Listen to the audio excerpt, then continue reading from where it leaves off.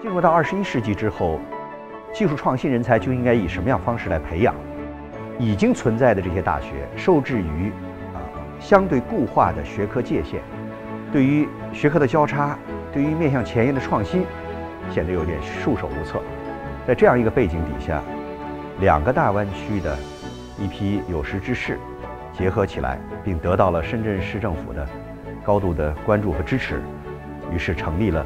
清华伯克利深圳学院。Shenzhen, an innovative city, the Greater Bay Area, a vibrant region, Tsinghua and UC Berkeley, two great universities, will make TBSI a unique educational and research institute.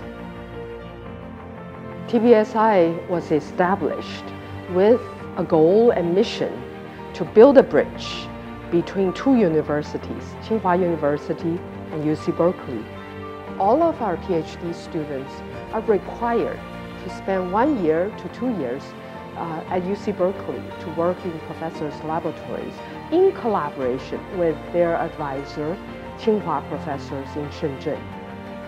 The vision and mission of TBSI to resolve some different problem for special industrial application in Shenzhen. At TBSI, we challenge ourselves to develop the most innovative international programs in China. Uh, we have a number of uh, labs and institutions. An overall feature is transdisciplinarity. The TBSI um, requires that uh, professors from UC Berkeley spend time in Shenzhen to teach and to mentor the graduate students and also to collaborate with Tsinghua University professors and with the TBSI core faculty.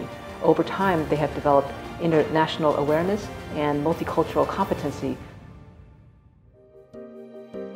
TBSI most attracts to me is disciplinary program.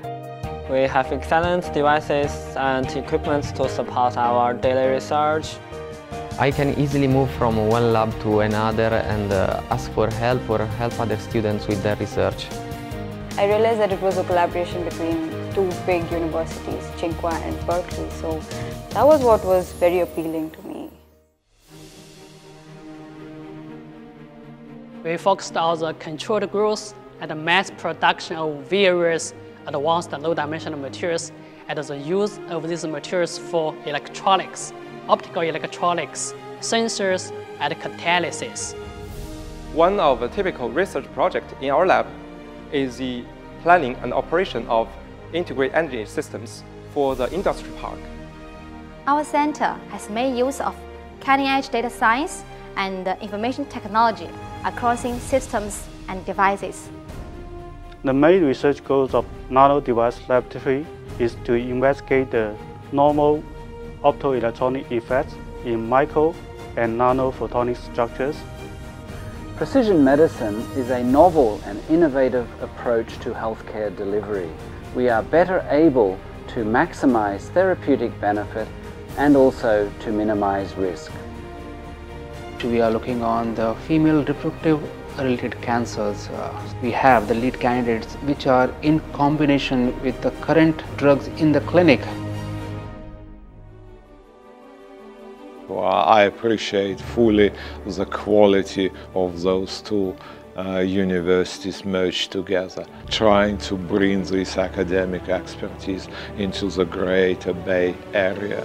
I'm excited to see about uh, bringing that same cultural values to Asia via TBSI, uh, to impact industry in a positive way, to accelerate uh, information technology. Now with TBSI, we'll further support that and also this thinking out of the box. My life at TBSI has both been exciting and challenging.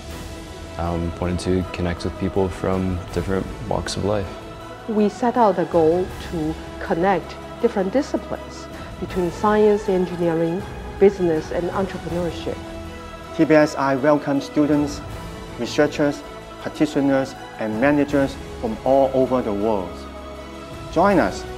Together, we will create a new era of innovative research and education.